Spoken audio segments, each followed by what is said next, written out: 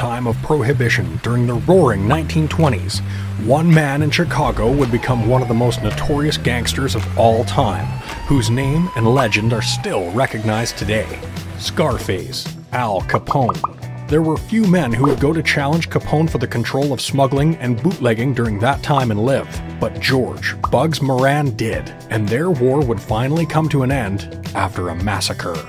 Alphonse Gabriel Capone was born in New York on January 17, 1899, to Italian immigrant parents and would grow up to join the Five Points Gang as a teenager. Other gangsters in the gang included Charlie Lucky Luciano and Johnny Torrio, and they operated in Lower Manhattan, Brooklyn, and Harlem. George Clarence Moran, known as Bugs, was born in Minnesota in 1893 and dropped out of high school at 18. Before he was 21 years old, he'd been to jail three times. As he became more well known to police, he decided to head to Chicago as he would be less known. His life of crime continued in Illinois, and he was soon arrested for robbery, resulting in the death of a police officer, and would serve prison time for several crimes. Bugs Moran became friends with two men named Dean O'Banion and Hymie Weiss, and these three bootleggers from the north side of Chicago and their mostly Irish gang would go on to challenge Al Capone and his Italians on the south side. At the time, Al Capone and his organization were still growing, and so these men were a legitimate threat to his taking over. The war over millions of dollars a year in the world of bootlegging was in full effect in Illinois, with both gangs suffering many casualties while the conflict continued, and a major event occurring with the murder of Dean O'Banion in 1924. Moran and Weiss hit back by trying to assassinate Capone at his headquarters, the Hawthorne Inn in Cicero, Illinois in 1926.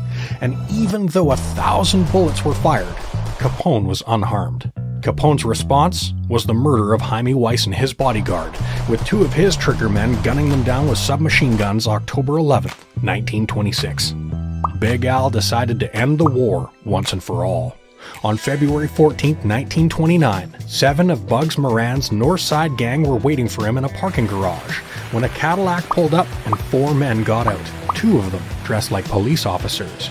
The seven men were lined up against a wall and were riddled with bullets from Tommy guns, instantly killing six of them. The seventh was hit by 14 bullets and died hours later, telling police that nobody shot me when asked who was behind it. Bugs Moran had been running late that day, which had saved his life at the time.